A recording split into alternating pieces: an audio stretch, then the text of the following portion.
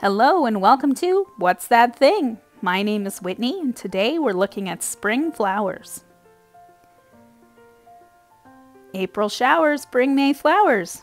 It's been a long winter where I live in Canada and I'm so glad that soon there will be lots of beautiful flowers blooming. Let's look at the first flowers to bloom in the spring.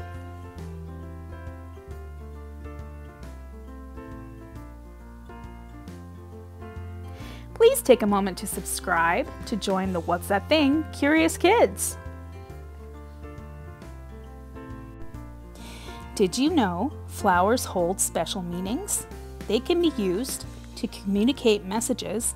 Let's learn about some flowers and their meanings.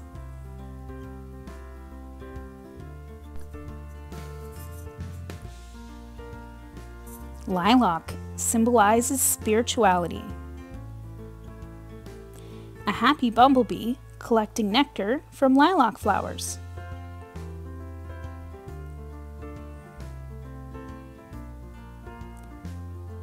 Pansy, in the thoughts of the one you love.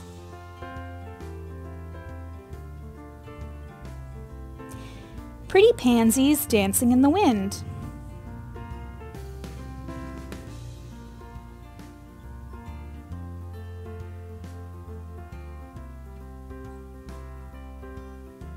Crocus represents new beginnings. A peaceful field of crocuses.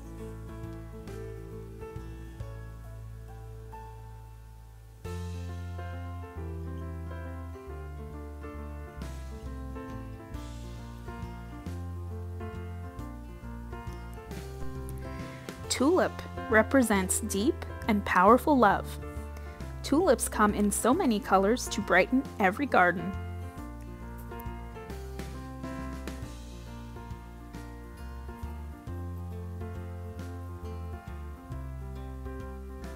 Grape hyacinth is a flower of remembrance. If we were tiny mice, we could play among the grape hyacinths.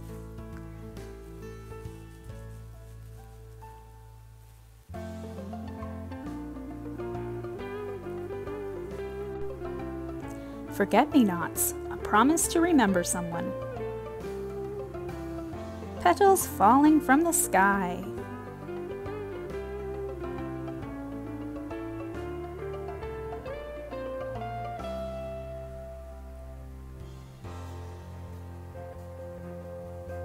Peony represents bashfulness and good luck. Ants eat the sticky coating on peony buds to help them bloom.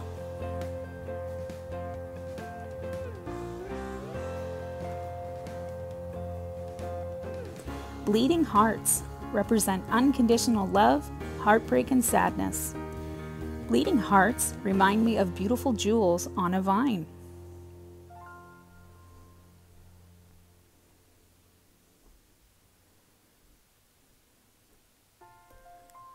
Can you think of any other spring flowers from your garden or local park?